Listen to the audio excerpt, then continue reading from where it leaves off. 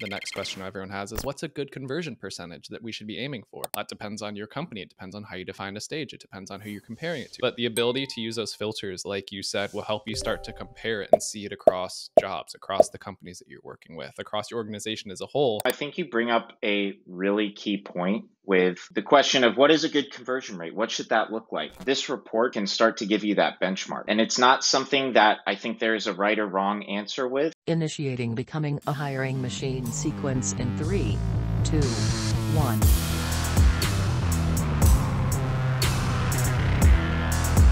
Hey everyone, it's Sam Keenly, and welcome to Becoming a Hiring Machine. This is the show dedicated to fixing recruitment by going beyond saying what needs to change and instead teaches you how to make that change. Today, we have a great Tactical Tuesday ahead of us, but before we get into that, I just want to tell you a little bit about the show. Essentially, we've got shows within the show here. Some days we have interviews with industry thought leaders and others who are shaking up the space. Other days we cover trending topics, items that recruiters are talking about or will be very soon, what those mean for them. Drop by every Tuesday for a Tactical Tuesday episode where we go deep on how to do, do something that's going to help you drive better results in your day to day. Some days we open it up for Q&A. Listeners can drop in questions that they'd like to hear us take on, so send those to us at podcast at loxo.co. And occasionally you'll hear a mic drop episode from Matt where he shares something that's been bouncing around in his head within the recruitment space and thinks you should know. Today's Tactical Tuesday. We are continuing our five episode mini series on all things reporting. We have Logan Heck, one of our CSM team leads, joining us to go over the essential things we need to know. And today's episode is going to revolve around the candidate pipeline specifically. So, with that, grab pen and paper, pull out your notes app, and let's get into it. Logan, welcome back. Sam, nice to be back. Thanks for having me. Yeah, I love these. These are so much fun. I feel like I learn something new every week, so it's it's uh, it's definitely a joy on my side. So, the candidate pipeline. Why is reporting so important here?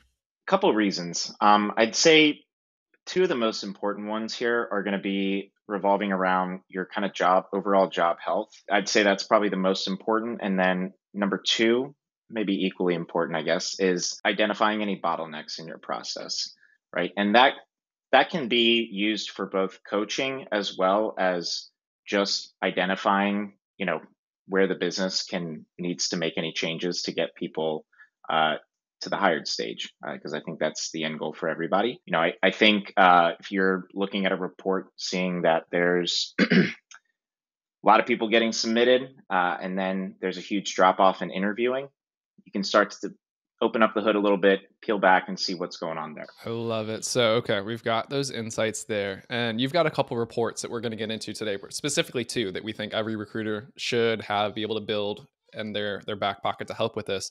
So let's get into that first report that you've got, and then for anyone watching, we're gonna we're gonna share our screens. Logan's will we'll talk through it as well. So if you're listening, well, you should be able to get a, a, good sense of what we're going through. But definitely tune into the video side. We've got on our YouTube, on our on our website for anyone that wants to see some of the supporting visuals with this. Absolutely. Uh, so with that, I'll share my screen. And the first report we're going to look at here uh, is going to be our stage conversion report. So in this example here, uh, and what I think, you know, a lot of customers uh, that I've worked with kind of challenge the thought to start to think about what are some really important stages and again maybe where you're seeing bottlenecks happen uh, within your pipeline. So for here what i did was uh, just put a filter of looking at our shortlist to submitted to hired. Um, so in this case you might want to see you know shortlist being people that uh, you've identified to be good candidates of that amount you know how many are making it to the how many are getting submitted to clients and then from there, how many are getting hired. That might be different for everybody across the board. There's everybody is going to have, you know, a different stage or kind of a different couple here. Some folks might also want to just use all stages and see it down the board.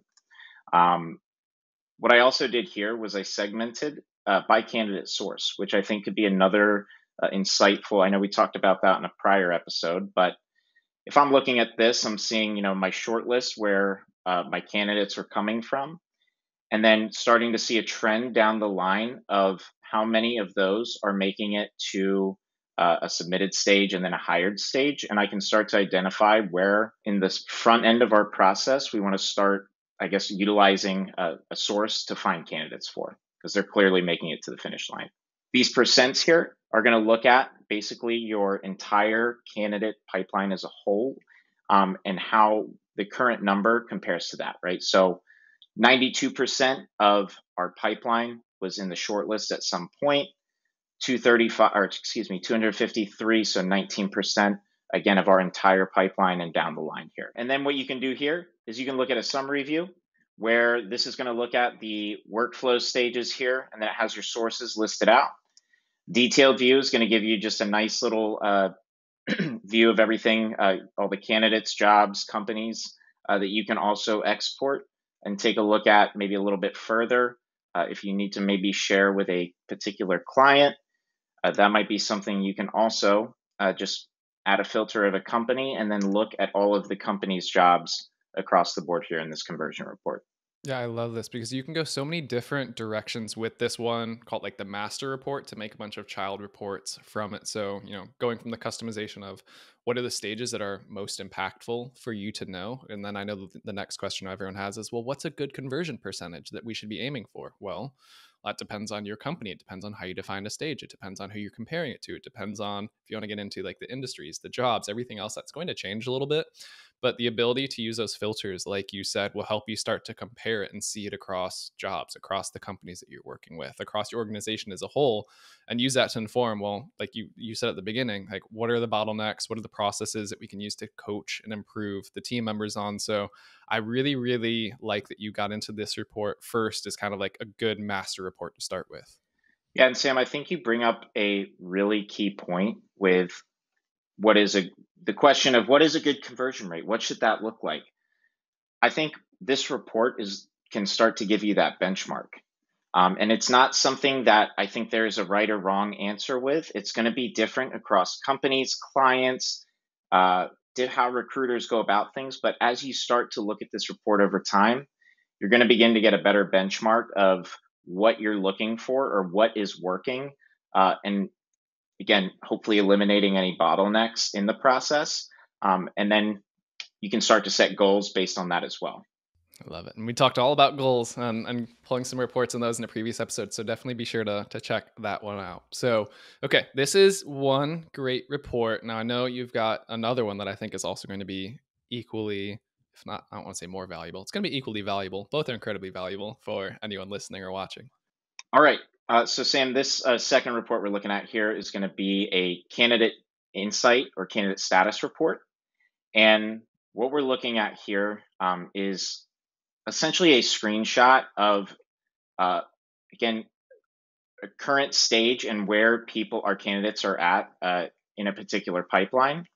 So, again, for this particular example, what I did was just selected some of the stages on the back end uh, of a pipeline.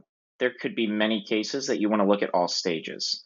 Uh, what I did down here was I just grouped it by stage and then segmented by job. So if I'm hovering over here, and I need to maybe get on a job or take a look at a job for a customer, or excuse me, a client, you have the ability to come here and say, okay, we've got uh, two people for the Loxo electrical engineer job, and you know, just kind of running down the line here to make sure that there aren't any slips in the cracks. And then I think you alluded to this earlier, Sam, is this allows, uh, I think, is a good snapshot for your uh, clients. And you can add any filters here by a particular job, uh, maybe a particular company that you want to share their overall, just all of their jobs and what the current state of that is. Uh, I see that used a lot. Okay, so getting into yeah, how it's then being shared or, or transmitted over to the clients. You have this view that it's great for yourself, for your like what you're working through, whether it's you individually, if you're managing a team, your overall company insight. But I know all of us at some point have gotten that email from the client. Give me the latest update on this job or, or the, the jobs that you're working for us, whether it comes once a month, once a day, once an hour. There is an easy way that you can pull out this insight versus I know so many people like, I have to do this manually. It's such a pain. And how do you get this information over to them in a way that it doesn't take too much time away from you to do that, so to speak. Yeah, absolutely. So uh, I think every uh, client is probably going to be a little different. Uh, some may prefer to just see a summary view, right, where they uh, are looking, obviously, this is a lot of jobs, but if we had it filtered to a specific company, they may just want to see a pure numerical count of how many people are in each stage. They might also want to see a detailed view. Uh, from this detailed view, I think we talked again about this in an earlier episode. You can come in here and you can dictate what is being seen here. So maybe they don't need to have their phone or email, uh, or maybe they don't need the owner of the candidate put in there as well. So you can kind of dictate that. And then from here, what you can do is you can come up to this uh, next to the uh, board option. You can export. And again, you can uh, export that either summary view uh, or the detailed view below, and it will also download the chart uh, for a visual as well that you can send over. So uh, definitely a great thing to utilize here, and it gives the customer, excuse me, your client, just a really clear view of what the current status of a any given job is. And I'm sure that's going to be different across the board per client.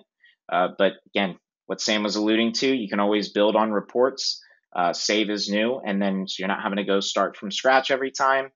A really valuable thing to do, especially if you have a lot of clients that are asking for uh, the status of their jobs. I love it.